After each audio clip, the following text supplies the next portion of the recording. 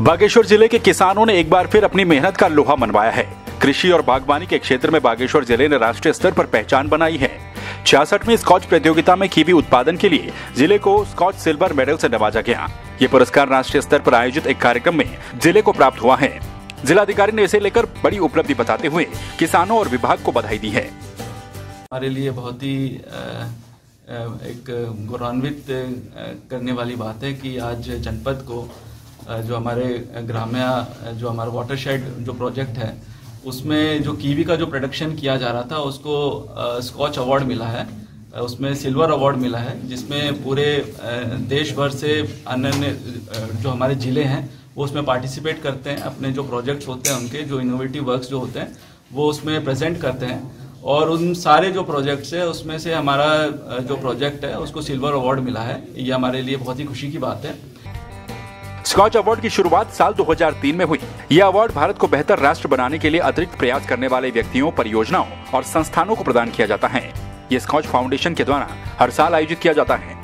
वर्तमान में बागेश्वर ज़िले में लगभग 200 क्विंटल कीवी का उत्पादन होता है और 2025 तक 1500 क्विंटल कीवी की पैदावार का लक्ष्य रखा गया है।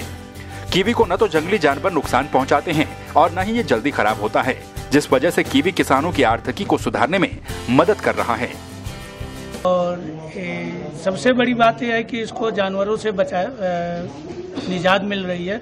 जानवर इसको खा नहीं रहे हैं। और दूसरी चीज़ है उत्पादन करने के बाद कोई चीज़ हम उत्पादित करते हैं वो तुरंत खराब हो जाती है। लेकिन कीवी जो है वह इसकी कीपिंग कैपेसिटी बहुत अच्छी है और इससे हमारे किसानों को अच्छा रेट भी मिल रहा है। राष्ट्रीय स्तर पर एक जिला, एक की भी योजना में बागेश्वर ज़िले को पुरस्कार मिलने के बाद अब बागेश्वर के किसान भी काफ़ी ज़्यादा खुश हैं। आय दोगुनी वाली बात है तो उसमें मैंने देखा कि इसमें आय दोगुनी ने हमारी आय इसमें जो है दस गुनी हो सकती है। तो इसको लेकर के हम भी जागरूक किया और हमने देखा हमने काम स्टार्ट किया। प्रजेंट टाइम पे मैंने अभी जो है तेरह सौ पौधे कीवी के लगाए हुए हैं। और मैं स्पेशल एक रेड कीवी पे काम कर रहा हूँ, जो अभी हम हमारे भारत में जो है लगानी है उस पर रिसर्च लेकिन वर्तमान में हमने हिमाचल प्रदेश में ग्राम्य के सहयोग से प्रशिक्षण प्राप्त किया है और काफ़ी अच्छी गुणवत्ता का फल पैदा करने में हम सक्षम हो गए हैं। और इस सफलता को देखते हुए क्षेत्र के बहुत अधिक संख्या में काश्तकार प्रेरित हुए हैं और वो भी बगीचा लगा रहे हैं। संवाद 365 के लिए बागेश्वर से हिमांशु गढ़िया की रिपोर्ट।